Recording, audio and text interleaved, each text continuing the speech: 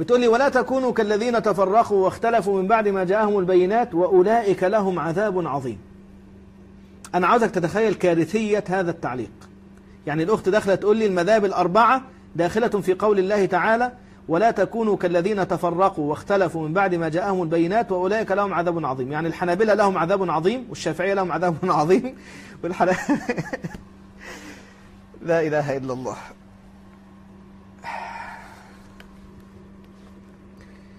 ده الواحد لو مات بالجلطة يعني يبقى قليل عليه بصراحة. ربنا يهديك يا بنتي.